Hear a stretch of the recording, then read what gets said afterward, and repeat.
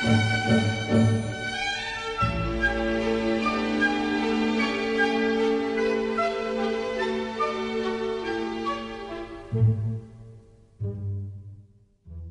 everybody, welcome back to Delight Channel. Um, last week we landed our conversation on, remember, life, life balance. I hope you enjoyed it. Thanks for all the feedback that we got, and I hope you are doing something about ensuring you find sync and balance to your life. And please feel free to tell others because I think that is one message everybody needs to hear. So, this week we are starting a brand new topic, and it's something that is very important, something that is not given so much attention by most people, and therefore it catches them by surprise. And like I keep saying, when something is important, it doesn't make any noise, it doesn't chase you because it knows that you cannot run away, it will be waiting for you. So, what are we talking about this week? Well, what are we starting to talk about this week? We are starting to talk about retirement. Yes, retirement. Some people hearing this word now will go into panic. They will start fretting, and if you check their blood pressure right now, shooting off through the roof. But some are also hearing and saying, wait a minute, I'm just 25, I'm just 22. Retirement is not for me. Yeah, that is why we are starting this series because it is something that is not given enough attention. In my mind, as I was preparing for this video, I was thinking it's actually similar to death. Most people, as certain as death is, they do not give it enough attention. If you're in that group, you better find Christ and make sure that you are ready to die because unfortunately it is inevitable. But let's come back to retirement. We are talking about retirement. And when we say retirement, what does that mean?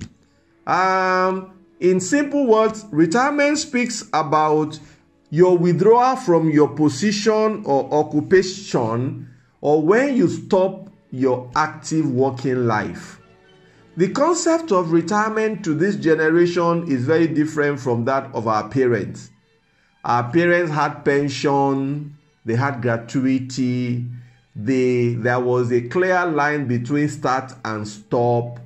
But in this generation, for many reasons, one, because talents are very scarce, second, because technology now makes it possible for one to keep working way beyond what is the stipulated retirement age, and also because entrepreneurship is now more rampant. So, for many people, retirement in a sense is no longer very clear. Some will retire from one employment to go and start up their own business, and they like to work till as long as their health can carry them.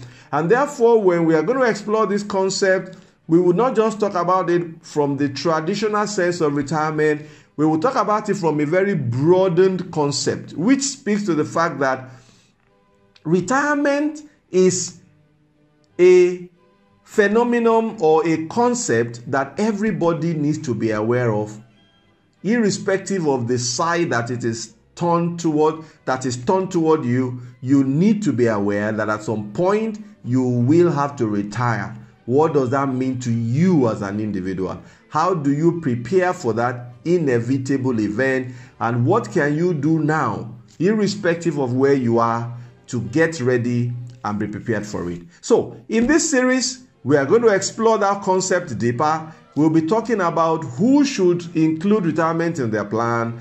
We will be exploring some myths and facts about retirement. But more importantly, we will then dwell on what does it take to prepare for retirement? How do you really go about it? Irrespective of where you are right now in your journey, what can you start to do right now? How do you go about it? What are the traps that you need to avoid? What are the pitfalls that you must be aware of and stay away from? That is the menu for this for this series. And I'm sure you need I'm sure you need to hear it. I'm sure you also know somebody who needs to hear this. So, from next week make it a date again on this series to be sure that you are not going to miss any of the content so that you too can be prepared and have a very fulfilling life as you start or as you are running or as you are about to end your active working life. So make sure you make it a date next week. Until I see you then, don't ever forget Tim Mark is still my name, Dila is still the channel, and all we are trying to do is what? Make a little difference. I hope to see you next week. Bye.